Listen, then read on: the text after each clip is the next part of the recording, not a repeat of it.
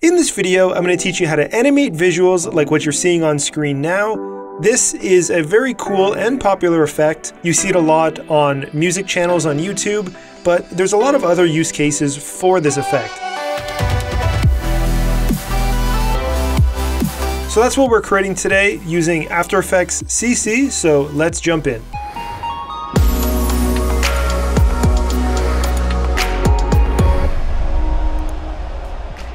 With After Effects open, I have a composition created. This one is 1080, but you can make it 4K if you'd like.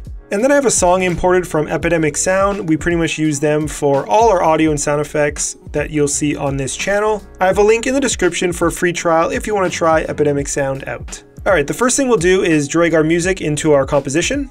And then we'll create a solid layer, which will be where our effect is. And to keep things organized, we'll call it visualization. We'll make sure it's the size of our comp. If it's not, you can click make comp size. And it doesn't really matter for the color, that will be changed when we start creating the effect. Then we'll go to our effects and presets and type in audio. Now there's two ways to do this. You have your audio spectrum and then audio waveform. Audio waveform is more of like your classic like heartbeat waveform, and the audio spectrum effect is better suited for music. So we'll try that one. And then in our effect controls window under the audio spectrum effect we just added, let's change the audio layer to our music. And then as simple as that, we have our audio spectrum following our music.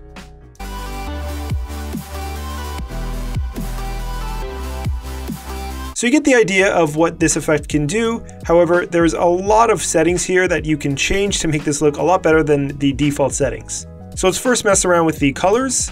Maybe we'll make this one a little more red. And this one will go to blue. And then we'll cycle through the hue interpolation to change up the colors just a bit.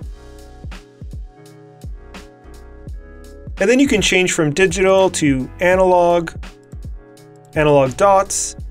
And then if you want to show more of like the mirror effect, you can keep it as side A and B, or you can change it to just the top or just the bottom.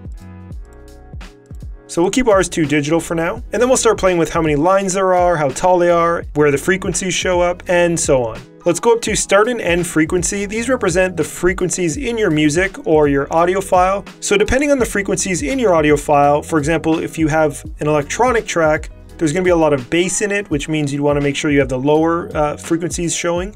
Or if your audio file has a lot of higher pitch frequencies, then you want to make sure that the end frequencies on the right side here are showing up to cover those as well. So let's increase the end frequency to about 50,000. And then under the maximum height, let's raise this much higher. Let's increase the frequency bands a bit.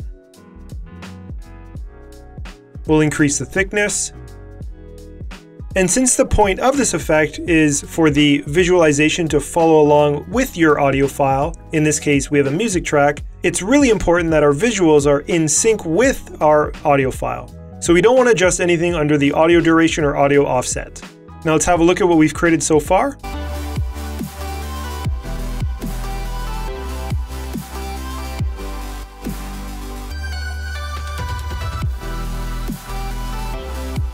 And you can see here that our maximum height of 7000 is way too high here. So let's go ahead and adjust some of the settings to control some of those frequencies.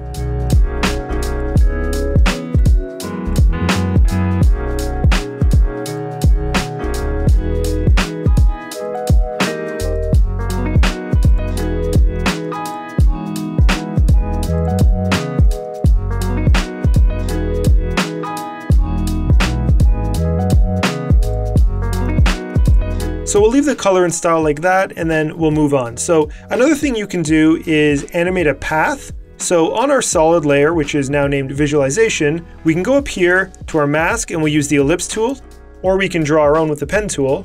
We'll hold shift to make a perfect circle. And then under path, we will select our mask one.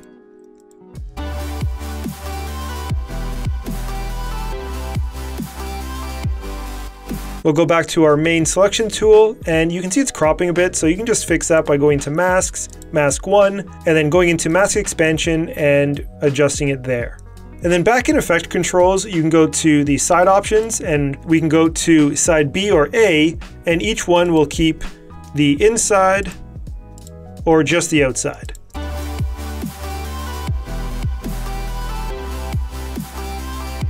I think this is looking pretty cool. However, to take this a step further and to make things a lot more interesting than this, now that we have this visualization layer set up, we can then duplicate it, change the sizes, the colors, and use this first layer as our starting template. Let's go up to Edit, and then Duplicate.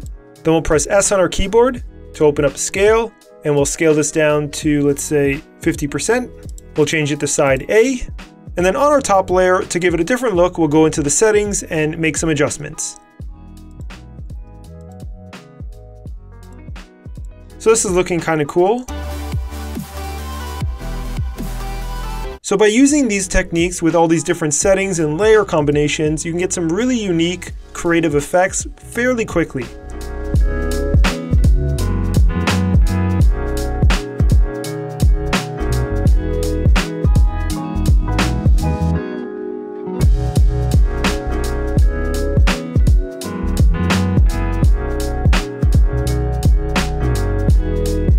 So that's it for this video. If you liked it, give it a thumbs up and subscribe to the channel to see more videos from us. We release a new video every single week. We have over 60 other filmmaking tutorials on our channel for you to learn from. And thanks so much for watching. We will see you next time.